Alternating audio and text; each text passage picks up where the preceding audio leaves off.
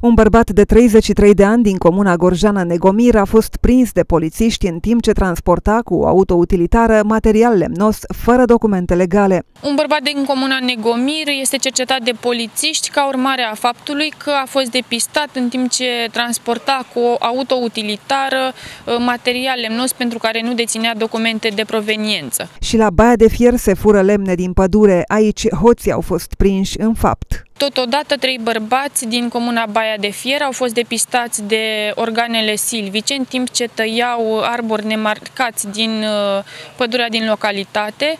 Toți cei în cauză sunt cercetați de polițiști în cadrul unui dosar penal pentru infracțiunea de tăiere ilegală și sustragere de material lemnos. Materialul lemnos a fost ridicat în vederea confiscării și lăsat în custodia unui pădurar până la finalizarea cercetărilor.